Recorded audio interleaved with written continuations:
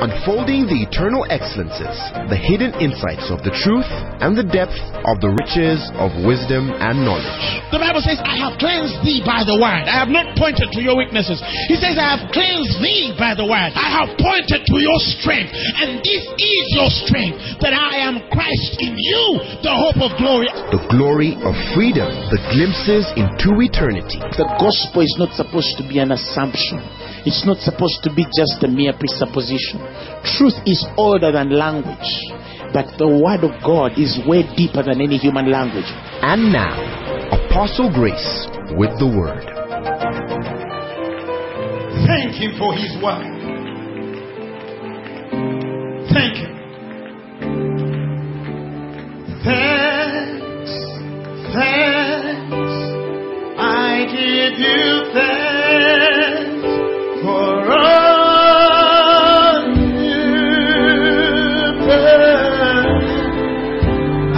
so blessed.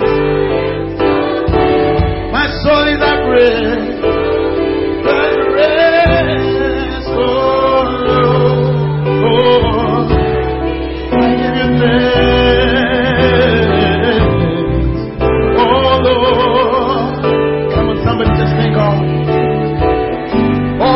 Say, Lord, we thank you. Thanks for your word, God. We are God's. We are your sons and daughters. The word of God works in our spirits. We are the offspring of you.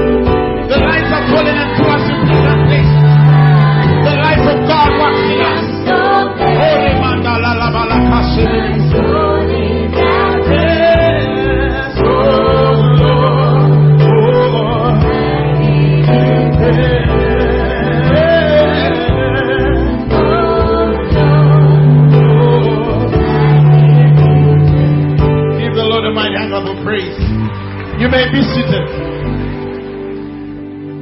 I was intended to speak about the ministry of the Spirit. And see, praise the Lord, the ministry of the Spirit. First Timothy chapter 4, verse 7 to 8. First Timothy chapter 4, verse 7 to 8. I want to read something and then I'm, I'm going to I'm going to break something in, in a few minutes by the Spirit of God, by His grace. And if you walk out of this room normal, after what you've just heard and hearing this, I am sure you're not human.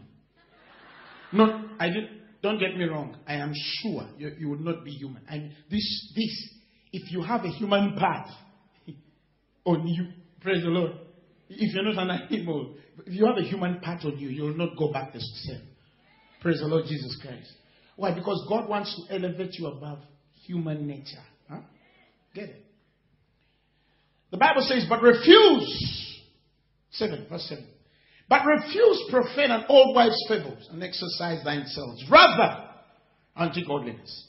The Bible says, exercise yourself rather unto godliness. The Bible says, exercise.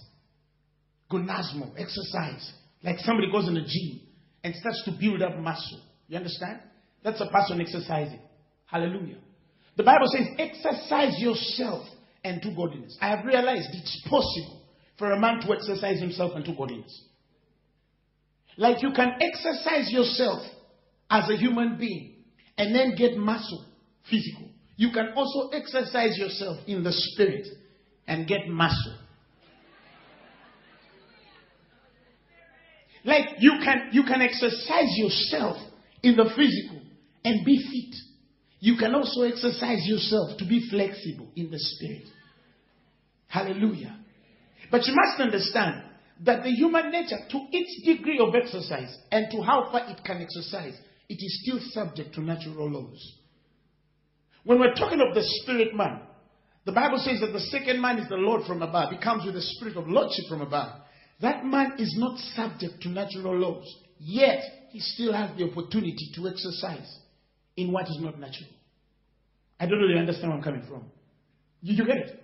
It's okay for me to exercise my body, but I'm still subject to the gravity force. If I jump or go, I'll be fit in my body, but I'll still be subject to gravity. I'm talking of a man who's not subject to gravity. And the spirit still tells him, you can still exercise. Oh, Whether you understand, I don't know whether you understand. I'm talking of a man who he's, he's not subject to natural law. He is an entity of spiritual law. But even being an entity of spiritual law, the Bible says he can still exercise himself. He can become better, an entity by the Spirit. For he says, for, for bodily exercise, profiteth little, verse 8. For bodily exercise, the Bible says, profiteth little. But it says, but godliness is profitable unto all things. I mean all. It's profitable. Godliness. I want to give you something that can give you an answer in every atmosphere and sphere of your life. He said, Godliness is profitable unto all things. The Bible says, having the promise of the life that now is and of that which is to come. That means you are persuaded that in this life you walk supernatural. But not only in this life, you'll also function crazy in heaven. Ah. Give me the message version of this. Let me read for you something wonderful. 4 8. He says, work out in the gymnasium are what? He says, but a disciplined life in God is far more so, making you fit both today and forever. That means that there's, there's a discipline in the spirit that can exercise you unto godliness. It's possible. You see, I wish they understand. The Bible says, great is the mystery of godliness. Great is the mystery. It's not small. You can't undermine it. He says, great is the mystery of godliness. He says, he came in the body. He was justified by the Spirit. Some versions use the word vindicated. The Bible says he was seen by the angels. He was preached on the world. The world beheld him. The Bible says he went up in glory. He says, without controversy, great is the mystery of godliness. He says, God was manifest in the flesh. And that's your story. You are a God manifest in the flesh. You're not a man trying to get God in you. Uh-uh. Ye are a God because you're a child of God manifest in the flesh.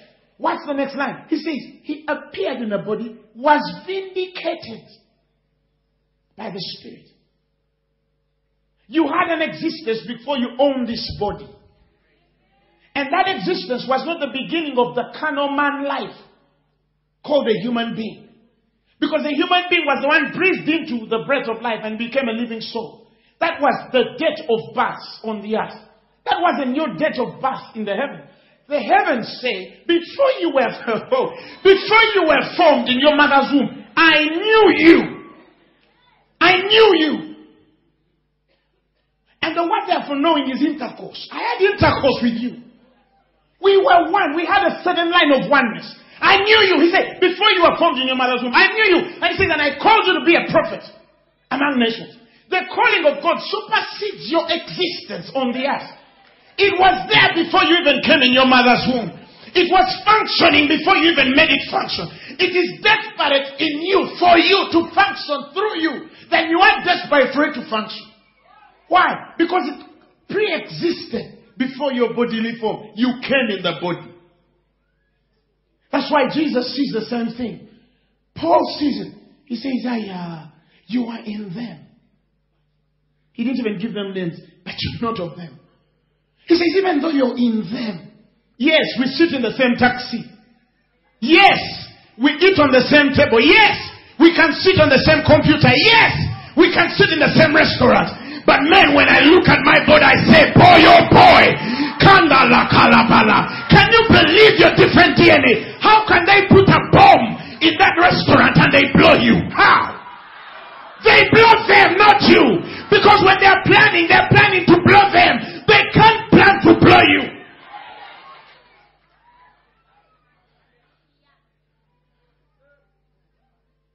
Car accidents have to wait until you come out. Why? Because they are not for this nature. The, the natural law can determine that at a certain speed, an object tripping can cause damage. Natural law. Spiritual law is different. If this object moves at a certain speed and it's causing a man to be whichever way he is, the spirit can come out of that object. Ah. musumba the spirit can simply come out of that object because our experiences are beyond anything that moves in a circle. The wheels on the bus go round, round, round. Car accident is not your story. Hallelujah. Why? Because you hit the earthly heavens. You hit the cosmopolitan heavens. You went past that level. You're past that level. He says, that I know a man. Paul is even confused. He says, I may not know this man, but I know of a man. I don't know whether in the body or out of the body, but I saw a man who was transformed. He was translated to the fourth, that dimension. The Bible says, of the Spirit. And it says, and he saw things which were not lawful to utter. The Amplified says things the human la- language could not put in words. Now, if a man under a certain law can get words that the human language can't put in words, how can that man enter earth with a certain language and fail? Oh, Kote. Because already the dictionary in your spirit is bigger than human dictionary. The articulations of the spirit to execute are way different from the way they execute. Why? You've been at a place where you can speak. That's why Paul says, even if you speak with tongues of men and angels. That means Paul uh, introduced us to a, a, a dimension where a man can communicate to the angelics like they are talking. That's not an unknown tongue. And I don't think that tongue makes the man's mind unfruitful. I don't know whether you understand what I'm trying to say. That we get to a point where you can see somebody going to have an accident. You tell your angel and tell angel, Mana karele brosile kesi. Pandele. Angel says, yes sir. The Bible calls them the ministers. The Bible calls them the ministers of the heirs of salvation. He gets the guy a one. Then the car passes. Tell the angel, let's go. You don't even look for pictures. Say, that's me, baby. Come on. I do that every time. I, no, no. You don't like be like DJ Wesley. You understand? Praise the Lord Jesus Christ. Hallelujah. Hallelujah. Hallelujah. Now, if he says, I went to a place where no, I had words the human language could not put in words. I, I had things that if I tried to explain them in the human language, the man speaking who saw was not human anymore. You get it? No, no. He's saying he could have said the words I could not put. He said the words. He said I had words that the human language could not put in words. They, they cannot put. Give me the amplified. This man of God. He says he was caught up in the paradise and he had, listen, utterances beyond the power of a man to put into words. The Bible says, which no man is permitted to utter. That means at that level, at that level, if we are using the amplified, no man is permitted. There is a place. Oh, now I know why Paul says, and this I speak with permission. There, there are places of access. There are doors of utterance by the Spirit where Paul doesn't just speak. No, he speaks because he has a certain permission. So when Paul says, and this I speak by permission, he's not just speaking because he's saying, Father, can I speak? No. He's saying because he has been elevated to a nature that can speak a certain language, past human language. And the moment your life starts to be dispensed in that life, you realize that the course of the manifestation of God upon your life starts to take a different turn. You see, there's a miracle of laying a hand on a blind man and it sees. But there's a miracle of a man thinking about you and his eyes open.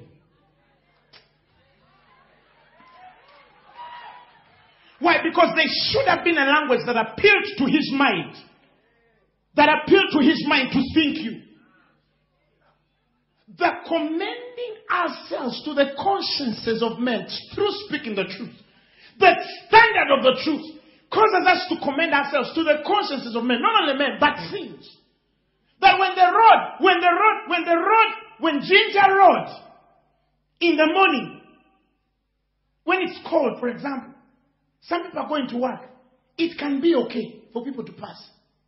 But the moment you come, Jinja Road knows, Pastor is passing. Jinja Road does every. Look, look. Remember the language. It says, "Do not worry about what you should drink, for tomorrow has its own to worry." That means tomorrow seventh is thinking Apostle Grace is going to eat what? Apostle Grace is going to eat what? Apostle Grace is going to eat what? What is he going to dress? His shoes are they clean? You understand what I'm saying? Because because it has a place to worry about the heir of salvation. Tomorrow has its own to worry. Then you also start, ah, can I make it? I don't know where this is. Listen, listen. God has opened your eyes to understand. Now, you read scriptures, but I don't know whether you think them through. He says, For we know that all things work, that's the word I was looking for, together, in union, in joint effort. That means that the rain works with the sun, with electricity, to give you the road that you desire for the fuel of the car that you put on, for the clothes that you look, of the mobile phone that you use, for the airtime you must load, to put WhatsApp, for the MBs of the Twitter, for the Skype, which must have La Bonita, and La Bonita for the. Oh! Thank you, Hataramandis. He says that all things now work together for good to them that love him and are called according to his purposes. To his purposes. You're like a spiritual magnet. Ah, you remember Paul? Paul said, Brethren, we are persuaded. No, not we are not believing. He says, We are persuaded of greater things which are accompany. The word therefore accompany mean like magnetic attraction. He says, We are perfected. We are persuaded of the things which magnetically attach themselves to the heirs of salvation. The moment you're walking like this, a good cat sees you and he says, Ah!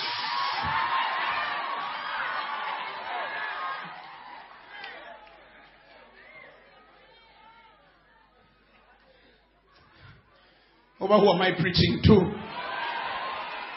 He says, We are persuaded better things of you. Things that accompany, that follow, that have a magnetic attraction to the heirs of salvation. And says, And thus we speak. We speak things that must follow you, not things you must follow.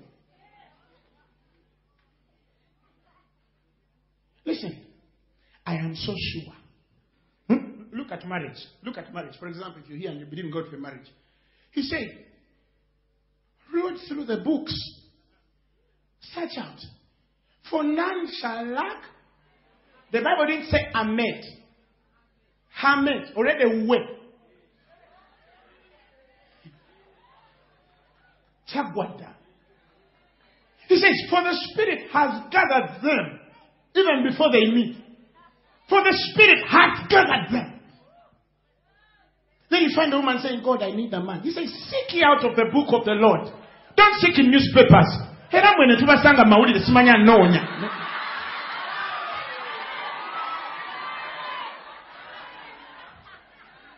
You find a Christian going in love in a love magazine saying, I'm 23, eh, 25, born again, single, searching for 25 year old, must be God fearing, simanya biki.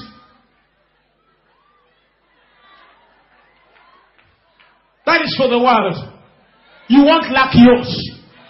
Hallelujah. I am persuaded you'll get married. I am persuaded you'll be a success. I am persuaded you'll increase. I'm persuaded you're increasing. I'm persuaded you're multiplying. I'm persuaded you're coming out. I'm persuading you.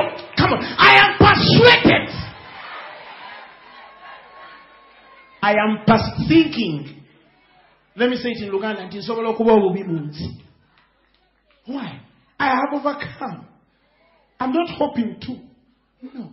I am so sure I'm a success today. I am so sure. And listen, we are pers- believing God for, we are persuaded of better things that accompany salvation. Like a man would come into another Christian's life and say, I see your grandfather's demon. And the prophet is persuaded. Even me, I am persuaded that I see you exalted. I see you honored. I see you increase. I see, I see, I see you glorious see you do great. You're better tomorrow than you are today. Now, when you start attending such meetings like this one, even if you say, let me try to refuse it,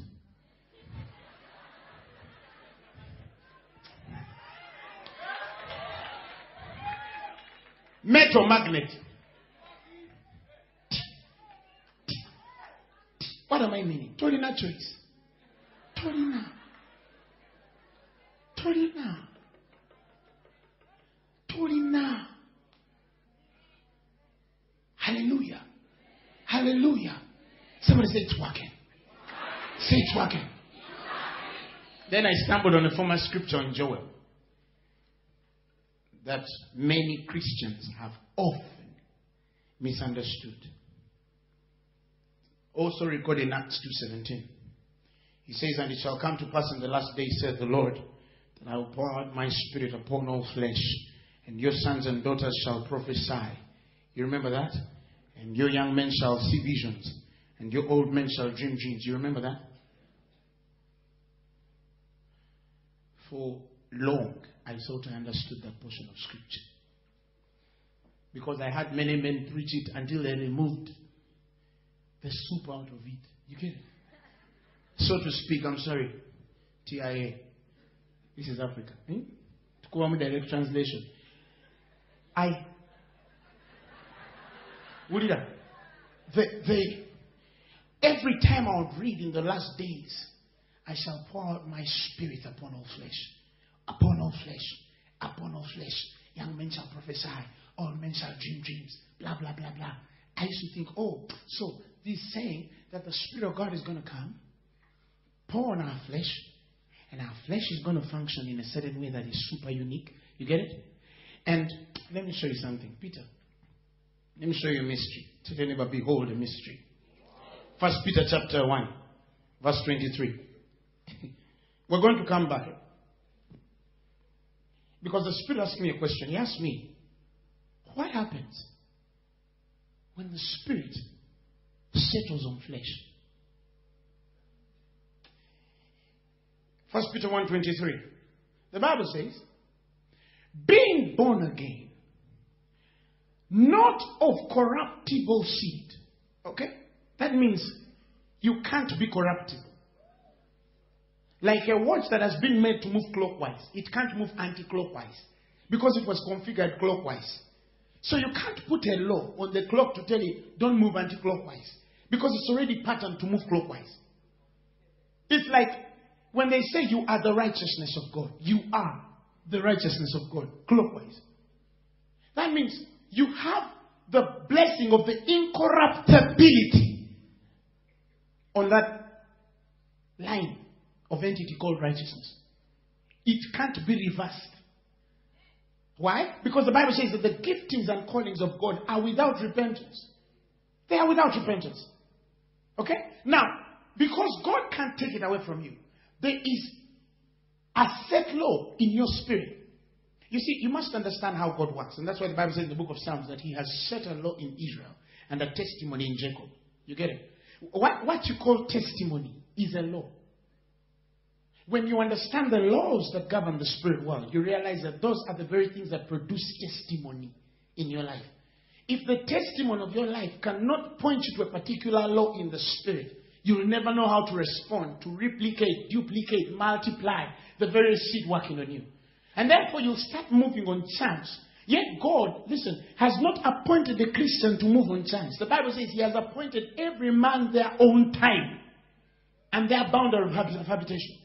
If peradventure the Bible says they might what? They might seek after him. If happily, they'll feel after him. Every man in this life has an appointed time. Every man has an appointed time. Every man in this spirit world has an appointed time. For you to. You get it? But you see, that appointed time is not subject to a time frame the Lord has put for you to adapt. No. The appointed time is subject to the grace of revelation distributed to you. That is why he quotes the very experience in Isaiah and says, Having ears they hear not, having eyes they see not, lest their ears would open and their eyes would see. And Jesus says, At any time, that they might be what? Converted, and I should heal them. Lest at any time. That means that God has placed the place of revelation in your spirit. To revelation is, is the time Revelation is the time. The moment it comes. And that's why he creates the clearest law in the middle and says, For the revealed things belong. He said, belong. The moment, revelation, the moment it is revealed, then it belongs. The moment it reveals, bam, magnet. The moment it is revealed, it is yours. So when he says, I have appointed every man their own timing, you have a time to access revelation. And the consequent things that accompany revelation. Because revelation, the Greek word for revelation is translated as God's redemptive power. Revelation must have a certain entity called redemption. It must redeem something. Now, if we are talking of places where now the Bible says, let us redeem the time, do you realize it's not talking about time anymore? He didn't say, let us redeem time. He says, let us redeem the time. That means there is the time eternal. The things that you must do and put them in the earthly timing that men might look at and see the life of God functioning in you to quicken you faster than any human could. God has not created you to live a life is like men or human beings. Human beings are slow. They are very slow. They are slow to think. They are slow to plan. They are slow to innovate. They are slow to invent. They are slow to prayer. They are slow to respond. They are slow to move by impulse. Human beings are way slower. Look at a man in the Old Testament, just human, normal human being, Elijah. He just gets one quickening of the spirit and he's running faster than horses. That is not even a born again creature.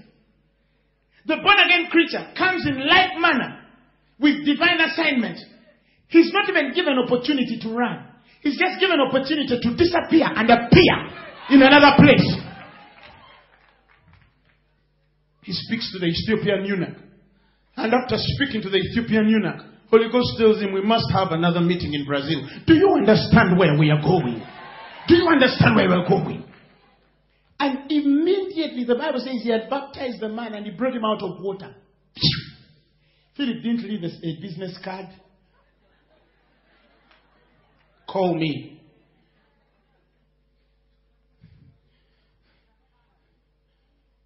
You, you get it?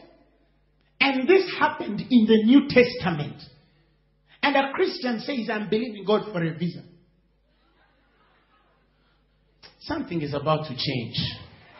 Something is about to change. Something is about to change. Listen, I'm not talking of a place where you leave your body. Uh-uh. And then you go in the spirit to Turkey. Uh-uh. I'm talking of the place where you leave your body. And then you sit and you say, uh-uh, I need you for the man to see the physical arts. And then you go with your body to Turkey. Oh.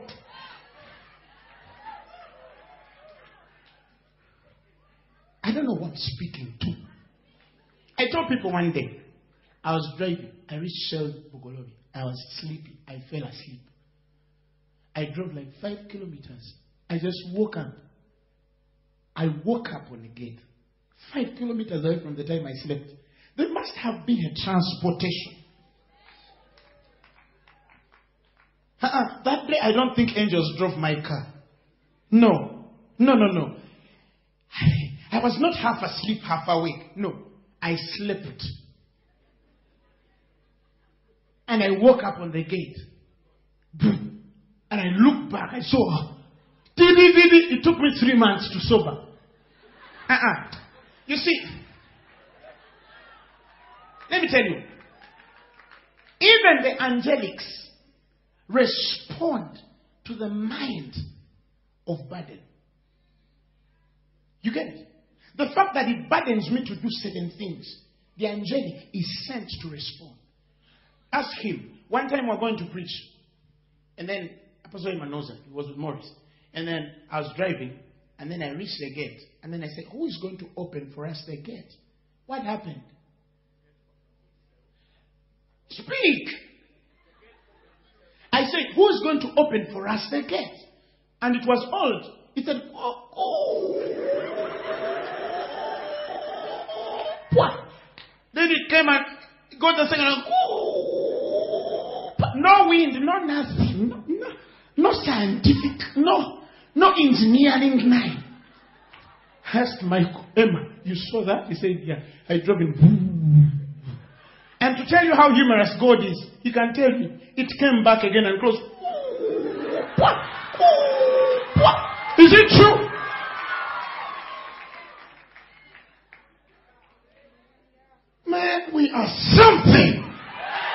Are something. And that's what I'm speaking in your life. That you start to see supernatural responses of spiritual laws. Respond to your pattern. Respond to your pattern. One London College one time. And then we reached the meeting. And there were only 10, there were about 10, 11 kids.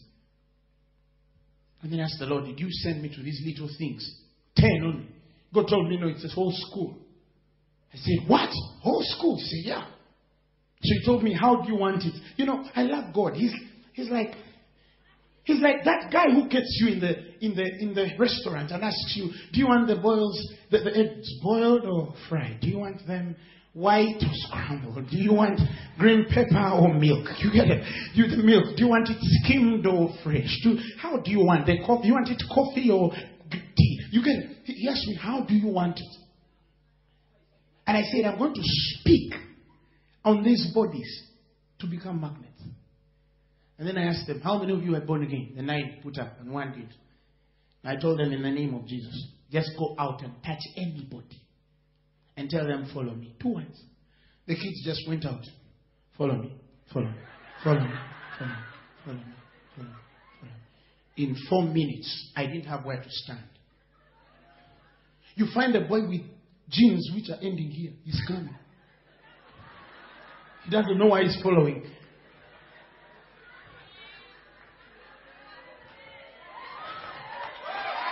Tell your neighbor that's who we are. Praise God. Now, the Bible says, let, us read down to share mystery before we finish. It says, You've been born of an incorruptible seed, which is the word of God. He says, It liveth and abideth. It liveth and abideth forever. Praise the Lord Jesus Christ. It liveth, that means it's alive. And abideth, it stays forever. Next verse. For all, listen, he quoted Isaiah. We're going to come to Isaiah. But let's read here. He says, For all flesh is as grass, and all the glory of man as the flower of grass. He says, The grass withereth, and the flower thereof falleth away. Okay? Next line. And he says, For the, but the word of God or the Lord endureth forever, and this is the word which by the gospel, by the gospel, which by the gospel, which by the gospel, it could be another way, but by the gospel is preached to you. Now let's go to Isaiah. Peter skipped a line. I think he was rushing. Isaiah 14, verse 5. Let's read the very one. He says, And the glory of the Lord shall be revealed. Remember the Joel experience? I shall pour my spirit on all flesh. And all flesh shall see together, for the mouth of the Lord has spoken it. It takes us back to the Acts experience and the Joel experience of Him pouring out the Spirit on all flesh. For every flesh shall see the glory. The glory is the Spirit. Hallelujah. Let's continue. He says, Then the voice said, Cry. And he said, What shall I cry? And he said, All flesh is grass, and all the godliness thereof is as the flower of the field, or the glory. You see that? Glory, glory, godliness, like Peter says. Next verse. Now listen to a mystery. The grass withereth. See what Peter left out. The flower fadeth, because the Spirit of the Lord bloweth upon it. Surely the people is the grass. What do you think about that? Do you think God is interested in anointing your flesh and you stay flesh? It again. The Spirit of God wants to blow the grass and its glory. So when he says, I shall pour out my spirit, you've understood it? I shall pour my spirit upon all flesh. He wants the spirit to get on you to a place where your flesh withereth and its glory fadeth away. Before they know it, you are a body, but you don't function like a body. Jesus, Jesus comes in like form. He comes in like form. The Bible says, and while they were praying, he appeared to them. He just appeared. He didn't open the door. He didn't pass through a window. He appeared. And the Bible says in John, and this is love made perfect, that you might have confidence on that day.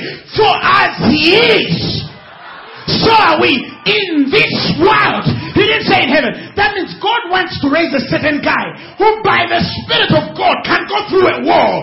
But the, listen, why? Because the law that, that, that, that refuses you, that confounds you as human, cannot confound you anymore. Why? Because when you meet that wall, you don't meet it as a human being. You meet it as a God. Don't you take it me? bw'aba katonda ayita mu kisenge n'omwana we ayitamu if god can pass through a wall his son should not question how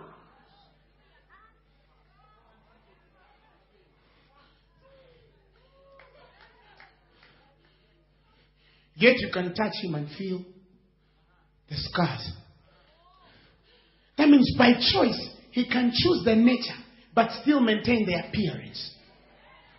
That's why the Bible now uses the language. He took on the likeness of a man. You can, you're like men. You're not men. You, he, he took on the form of a servant and took on the likeness of a man. You're like men. You're not men. Mulinga abantu. Yes, that's why he says in Acts that the gods have come to us in the likeness of men. He didn't say that the men have come to us in the likeness of God. The gods have come in the likeness. It's a nature issue. So, when he says that the glory of the flesh, oh, sorry, the flesh, which is the grass, and its flower, both wither and fade away because the Spirit of God bloweth on them. When we go back to Joel, when he says, I shall pour out my spirit upon all flesh. In simpler terms, I will wither flesh and its glory.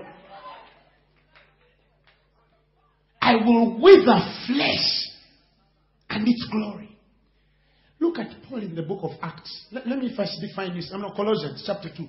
Give me something in verse 1. Let me show you how a man thinks. Paul, I'm just giving you a sample. He says, For I would that you know what great conflict I have for you, and for them at Laodicea, and for as many as have not my seen my face in the flesh. That means there are men who have seen Paul in the, in the spirit by faith. Ah. Now, do you understand the place where we commend ourselves to the consciences of men? One time, Merab is my witness. I went and appeared to a woman in Entebbe. The night before, I was supposed to have a preaching engagement. And then the next day, she saw me. She says, Oh Oh my God. Oh my God. I saw this man in my dreams. I saw this man in my dreams. I saw him. You see, it's not magic. It's who we are. It's who we are. Tell your neighbor, stop being human. Mugambi, stop being human. Just stop being human. He says, I saw this man. I, I saw him. I saw him last night. I saw him. I told her, yes. You see, remember Pilate's wife? Remember that? Huh? When, when, when they were going to crucify Jesus, Jesus looked for a soft spot on Pilate. He realized that the wife was a soft spot. He came at night in the spirit and troubled her. And the next day, the scripture says, the wife of Pilate says, Let the man go, for he troubled me in the night. So the man is responding because somebody's wife lost sleep. If a guy gives you headache, give headache to his wife. Tell that the next day, the wife is the one interceding for you. But it's not muleke. No, no, no, no. There is something you communicated to the wife. And that's how we get jobs. You just get one influential guy on the panel. And then you go at night and then you start to riba kashata. Makarababa. I just need one guy with influence. Makarababa. The moment you go for interview, they tell him good morning, tell him good morning. What's your name? My name is so and so. He just doesn't say, I like this guy already. Just hire him. Just...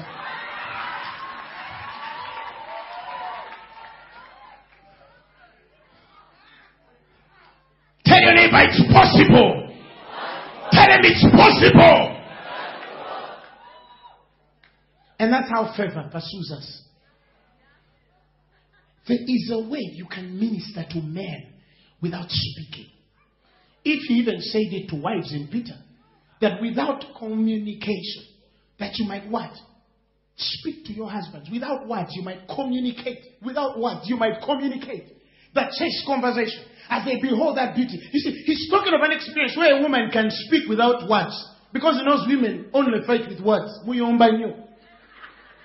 And he's, he's saying the only way you can, he's saying without words you will communicate. You don't always need to communicate by words. In this life and the next, you don't always need to speak to everything. Likewise, you wives, be in subjection to your own husbands, that if any obey not the word, they also may, without the word, be won by the conversation. For you, you think everybody must listen to the words you say. No, you're a human being. There are words that the human being cannot put in words. Yet they can still be communicated to a human being or a spirit. It's called functioning above the human nature. It's just functioning above the human nature. And it's possible. Now, let's go back to Colossians. I want to show you something. He says, For many, I have an issue with you. For them that are of here, and as many as have not seen my face in the flesh. That means I have a face in the spirit. You might have seen my flesh, my face in the spirit. But I have to come and speak to you guys who have not seen my face in the flesh. I carry a certain identity in the spirit that's also a face. Next verse. Look at this. That their hearts might be comforted, being knit together in love. Is that so? And through the riches of full assurance, understanding the acknowledgement of the mystery of God and of the Father and of Jesus Christ. Next verse. In whom we I hid all treasures of wisdom and knowledge. Next verse. And this I say, lest any man should what? Beguile you with what? Enticing words. Next verse. And show you something. For though I be absent in the flesh, yet I am with you in the spirit. Joying. Joying means when they make praise. Paul in prison knows the church is praising. Then you just see a man dancing. But you think he's mad. No, he's not mad. He knows the time when they joy. You understand? The time when you say hallelujah. When Paul is not in the meeting, he knows they're shouting hallelujah. You just see Paul saying amen. You see that kind of connection. Oh, when that thing starts to function in your life, you don't need to send Johnson a WhatsApp message. No. You tell him, make haste and come to me. Without text message, no Facebook account, no telephone. It's the sons of this generation. The Bible says they are wiser than the sons of light in their generation. Why? At least they invented a place where a man can communicate to another with distance. Yet this was a normal human mind. They are trying to leap into the things that are supposed to be natural with the children of God. We ought not to be communicating anymore by WhatsApp messages sometimes. Oh. We ought to be in a place where I can send a message to you and then you send a message back to me without a phone. That's the only way they cannot track you. Come on, somebody. If the sons of this earth can do it, the children of God can do better. What do you think, brother, upstairs? And I said, How come the guys in the world can do it? I don't know how, but a man imagined that there must be some waves that flow through unseen phenomenon, but have the consequence of a receiver end that can encode, decode, create a communication line with the person without necessarily them being present. They thought this. They thought this. They thought this. These are sons of men. but they can think to that level. How much more the sons of God? We ought not to even think on that level. We ought to be communicating on that level. On a level where I don't need a mobile phone to tell Timothy, I need him in Tarsus.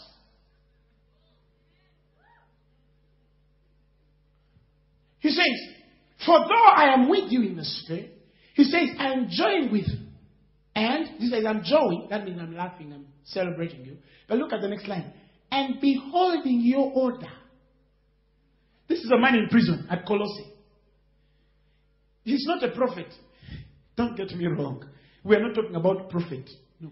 We're talking of a natural spirit of God. He's in prison. The Bible has never spoken of Paul being a prophet. No. But divine purpose and assignment helped him to a responsibility that caused him to oversee. A, when I see people saying overseer of a church, I don't know what they mean by overseer. Because some people just overseer is nice colon and a long suit with nice English. And they say, I'm the overseer of a church. I'm the overseer, the general overseer, bishop, general overseer. Listen, when we say overseer, the word seer there is over prophet. the prophet above the ministers. You ought to get to a level where you know what Pastor Emma ate.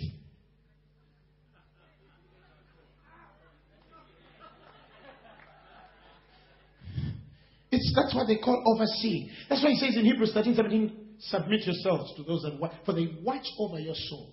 They watch over. Over your soul. They don't watch your soul. They watch over it. They are above it, but they see it. They have a certain line of responsibility that grants them access into the lives of men. You get it? And the Bible says, as they that must give account, because the responsibility of watching in the Spirit gives you also the mandate to account for what you see. How be it so that you can see the lives of men and you can't have the mandate to fix them? That's why Christians commit suicide. Because we don't see. How can your relative commit suicide and you don't see? How can it be so? Our seed cannot be like that. Now, I'm not talking of prophecy. Please understand me. I'm talking of a faded flesh and glory. That means that we have all access in the spirit realm. Before they plot, I told people, you know, I, I attended a meeting in one of the Arab nations back in the years. And I came and laid down the plan of the bombings, all of them in Kenya. I went and told the, the pastors in Kenya, none believed me. I came back to Uganda. I saw these men blown every other day. Even the second last one, I told these guys in a meeting. I told them that I'm going to blow them in about a week or two. Bam! And I said, What's wrong with the church? How come we are claiming to see what the sister is putting on, what the brother ate last week? But we don't have men who actually watch over the church. We don't have men who watch over our nation. We don't have men who watch over the city. The Bible says, unless the Lord watches over a city, the city, the watchman watches over nothing. Listen, God is not interested in protecting La Bonita. No, He's interested in protecting the Kampala of La Bonita. That's it. That's why He gave David a city before his seed produced a, a temple. That's it. He said, Your seed. He said, I shall give you the city. That's what he told him. Because you, you, you're asking, you want me to give you a temple. I'm not interested in giving you a temple. I'm interested in giving you a city. And your seed shall build a temple in the city. Luke 8 11. The parable is that the seed is the word. I want to give you Kampala, and your message will give you the church you want in Kampala. Don't ask for a church, ask for the city. Have a bigger mindset. Ask for the nation. Ask for Africa. Watch over your nation. We don't need a few 17 prophets to see. Listen. Let me tell you, let me tell you an inclination that has been hitting my spirit some time back. When Elijah runs away from Ahab, hmm, and then goes hiding, even though he was a prophet, there was something he couldn't see. You get it? Now, it's one thing when a prophet can't see divine purpose, but he can see the provisions, which in the end, the man of wisdom called vanities. You get it? He hides. The scriptures tell us. God asks him, Why are you hiding? He says, They've killed all your prophets. According to Prophet Elijah, all the prophets are dead.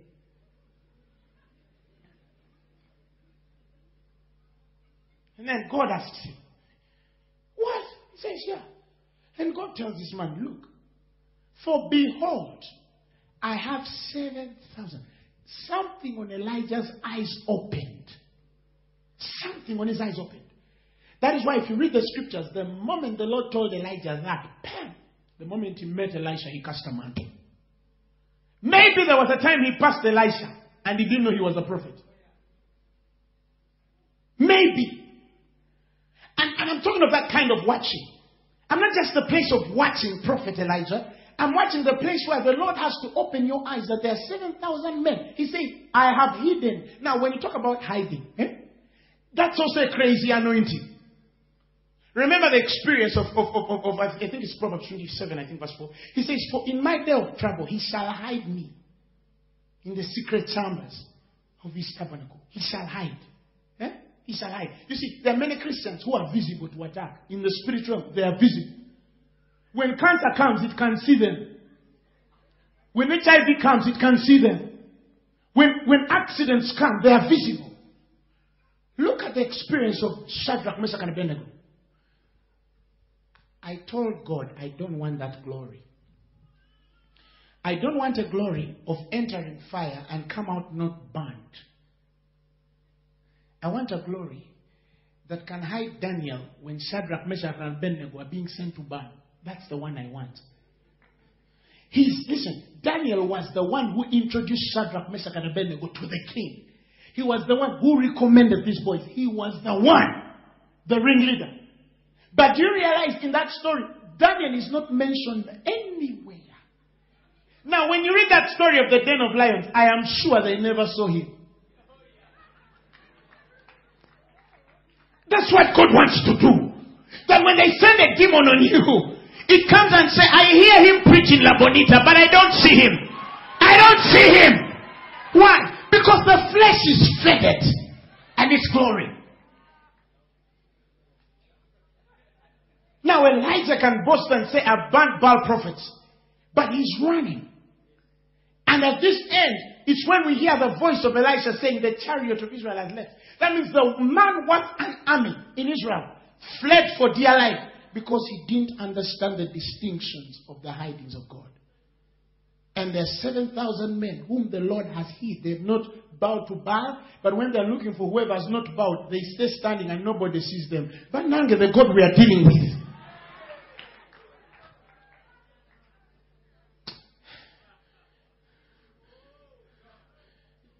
That man will enter a plane and they won't see him. And look for the empty seat in economy class or first class. And go to the US and preach the gospel. Ah, over who am I speaking to? Over some of you you've gone past that, I don't know. But me, this is my line. This, this is higher. I want to believe these things. I am believing them. I'm believing them.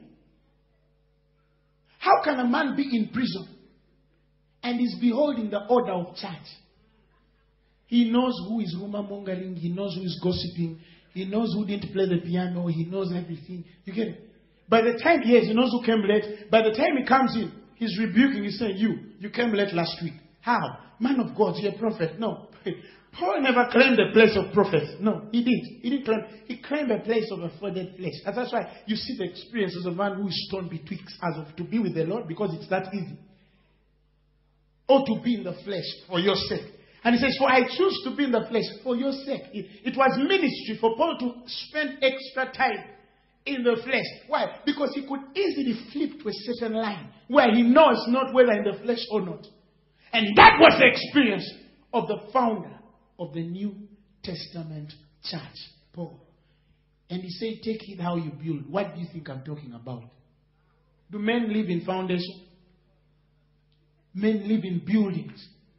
That means when we look at the experience of from glory to glory, God wants to create a certain testimony in the lives of Christians where one day you will see a cockroach in this speaker, and then you just pass through the hand and get the cockroach out.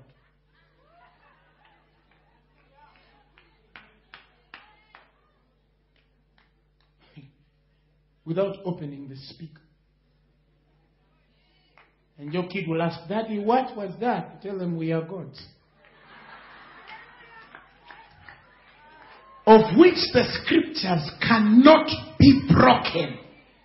Because you need to get to the word and break it. You see, many people don't understand now the mystery of how the Bible says that none of his bones shall be broken. He's Christ, which is the word. He says it cannot be broken. He cannot. It cannot. This is Jesus. This is Jesus. God wants to call you to a supernatural lifestyle, not way of life. But if God forbid you should lose your car, fly out of it before it crashes. Then when you land the other end, people will say, He's a God. Then he ask you, How did you do it? And then you start the gospel.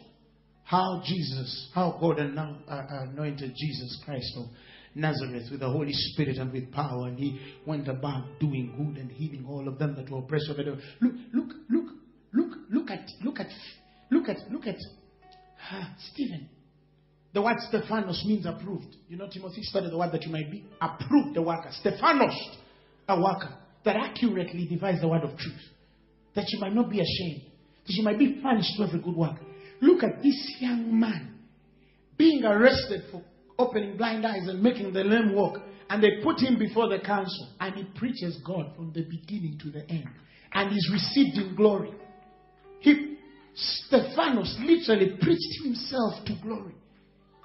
He literally, in fact, for me, the most touching experience is when he says that I see the Son of Man God, sorry, standing. Stephen preached until. Some of you in your religious second, he's seated at the right hand of the Father, waiting for. Stephanos preached until Jesus stood up and said, Stephen, come home, just, just come home. You're too deep for the earth. The flesh must fade away and its glory. He says, and he being full of Holy Ghost looked up steadfast in heaven and saw the glory of God. And Jesus standing on the right hand of God and said, Behold, I see the heavens open and the Son of Man standing on the right hand of God. Next verse, what does the next verse say? And then they cried out with a loud voice and stopped their ears and ran upon with him with one accord. What made them scream?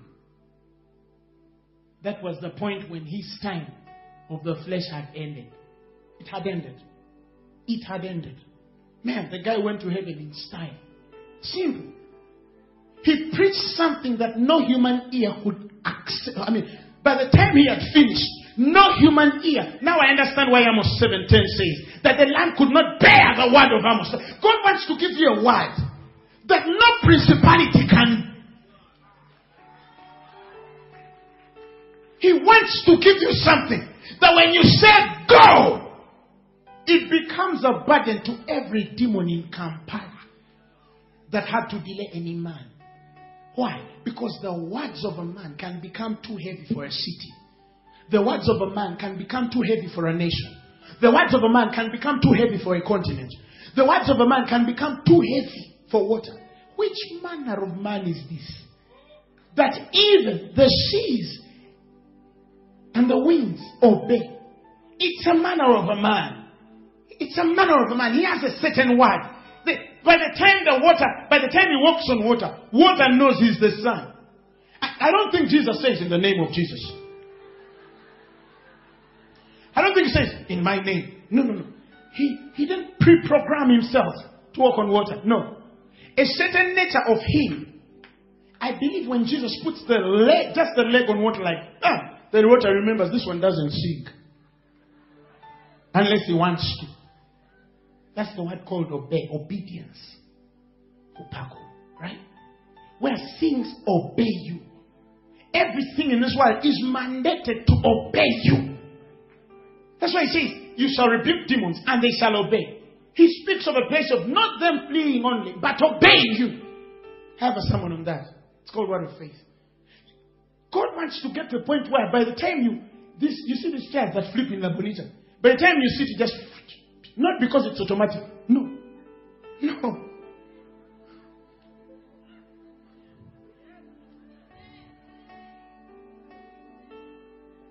Do you believe it?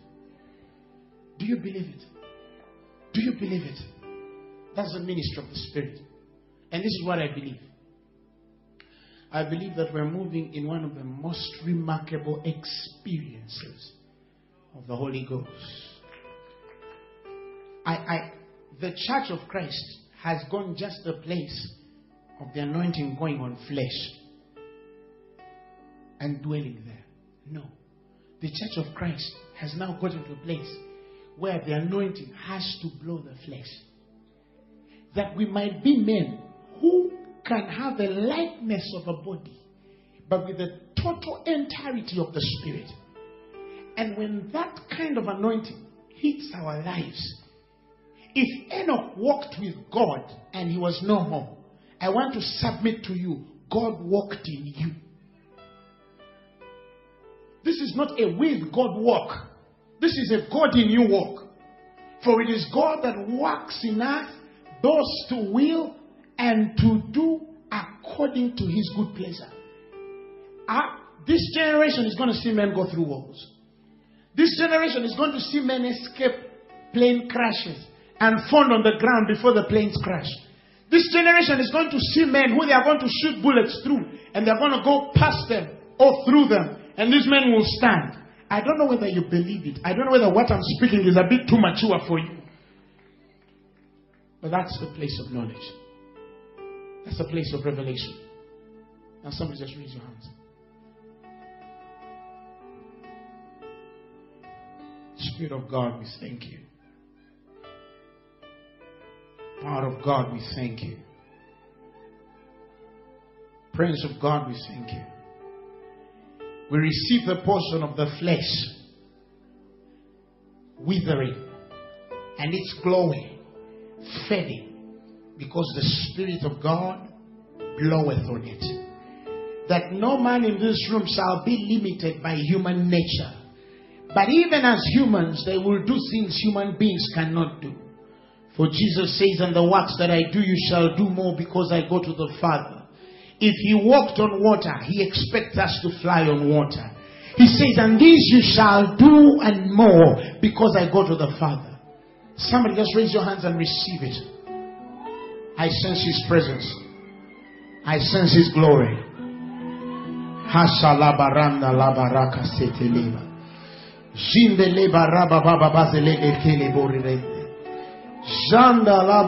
Kasele malandele.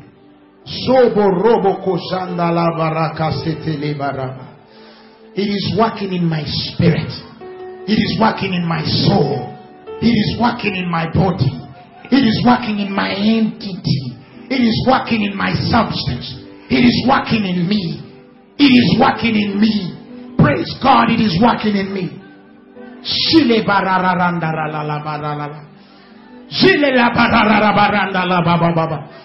bararara baranda baranda la la la ba ba ba ba. Shile barara la landa la la la. I refuse to be limited as a human being. I choose to walk in the freedom of the liberties of the Spirit.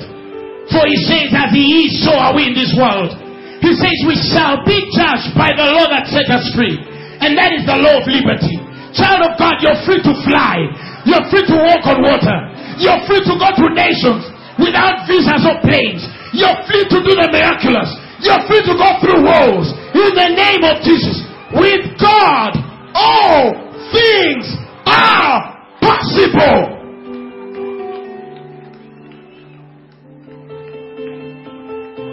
It is working in me.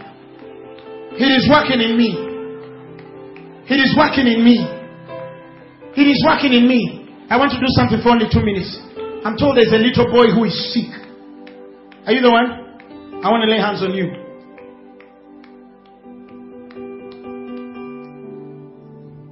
Father, in the name of Jesus, we thank you for healing. We rebuke and bind and destroy every spirit of infirmity and disease. We command his body to get in order and in line. In the name of Jesus. In the name of Jesus. I speak to this body. I speak to her mind. I speak to her head. I refuse any afflictions of the devil on her head. In the name of Jesus. If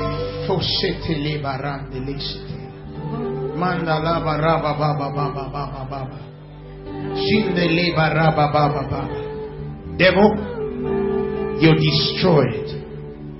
You're destroyed. You're destroyed. You're destroyed. In the name of Jesus.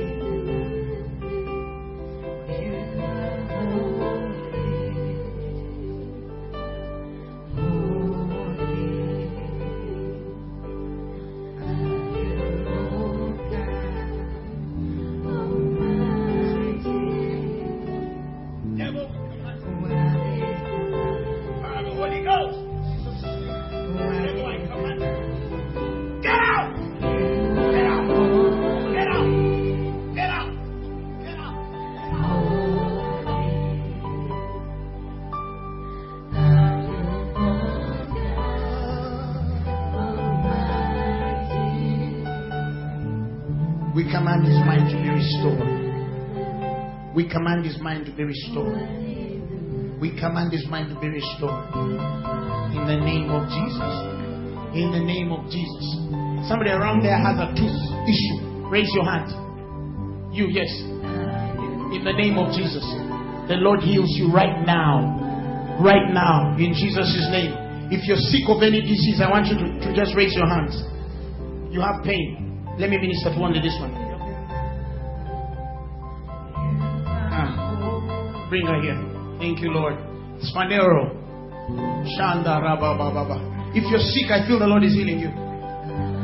We we want to get this leg in order now.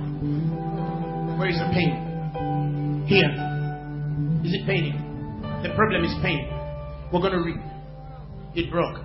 So we're going to re- get rid of the pain. In Jesus' name. Somebody stretch your hands toward her. God is about to do a miracle.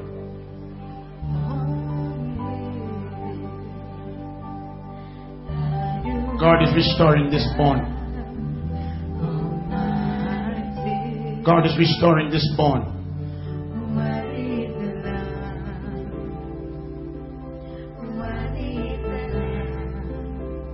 Thank you, Lord Jesus.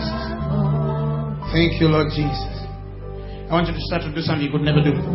Start to do something you could never do. I feel the Lord is healing you right now. I feel the pain is leaving right now. I feel the pain is leaving right now.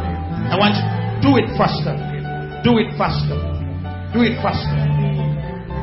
Worthy is the Lamb. I feel the Lord is healing you. The pain is going. You are holy. I feel the pain is leaving right now. Holy. I feel the pain is leaving right now.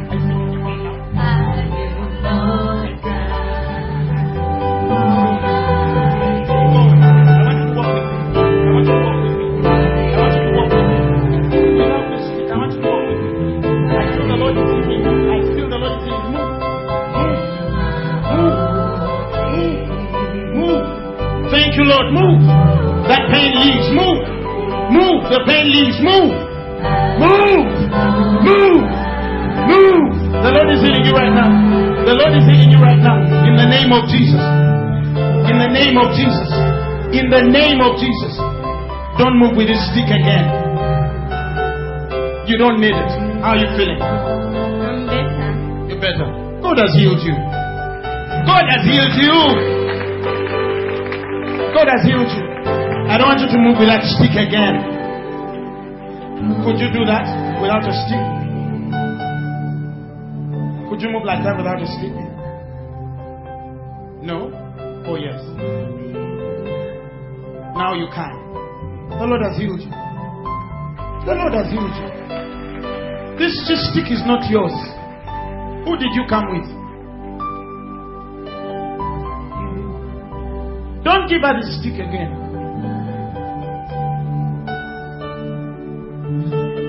Go and sit. That stick is not yours. It's not yours. It's not yours.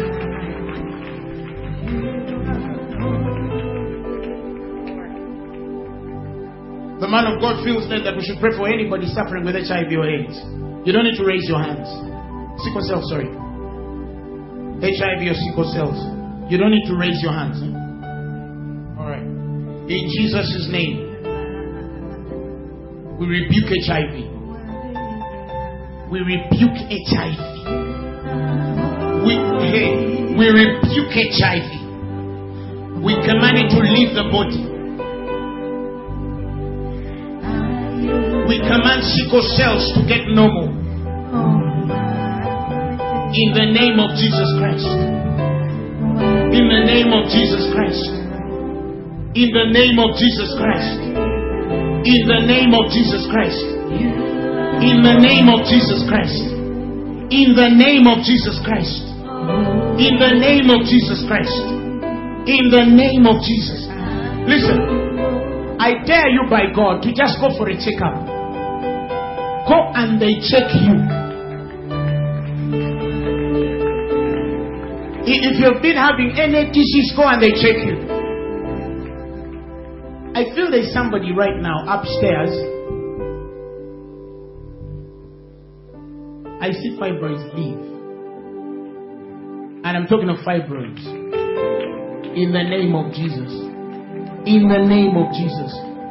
In the name of Jesus. In the name of Jesus. I see fibroids leave. I see fibroids leave somewhere up there. The Lord removes fibroids out of you. In Jesus' name. If you're sick, say, I receive my healing now. Say, I receive my healing now. In Jesus' name. Amen. You're healed. You're healed. Watch that lady who, who has lost the cane. You'll see how she's going to be walking tomorrow or next Thursday. You'll be surprised. Hallelujah. Hallelujah. That boy, I don't know, I'm told he had what? Cancer. Sorry? Pus coming out of his body. Let's see whether pus will come out again. In the name of Jesus. Hallelujah. I don't know why, but the Lord tells me there's another person with a bone problem. Your bones pain inside. Raise your hand. Come and I pray for you.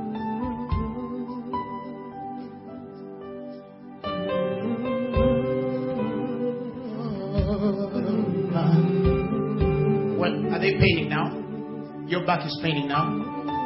Raise your hands. Thank you, Lord Jesus. Somebody just raise your hands toward this woman.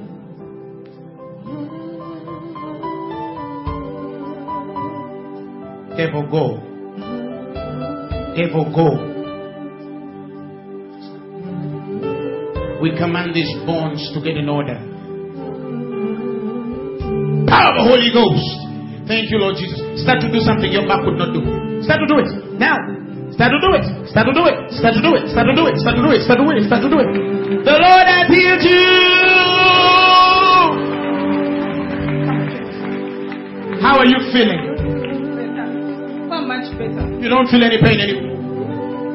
I was not bending. How long couldn't you bend? One week and a half now. One week and a half you couldn't bend. Yes.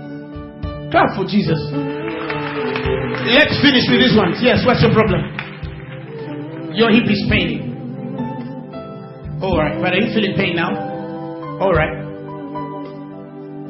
Hey, hey, sickle cells. Okay, right now we command sickle cells to lose her. Get out. Get out. Get out. Get out. Yes, what's your problem? In the name of Jesus, we command these legs to get in order and in line. Be healed. Be healed. In Jesus' name. Yes, what's your problem?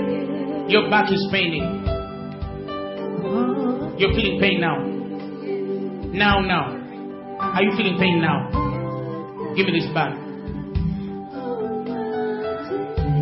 I want us to do something that, in the name of Jesus, raise your hands. I want you to count, you people, I want you to count seven times. Just say one, two. By the time we get to seven, I want her to check her back. One, two, three, let's go. You're releasing life. Uh huh. Uh huh.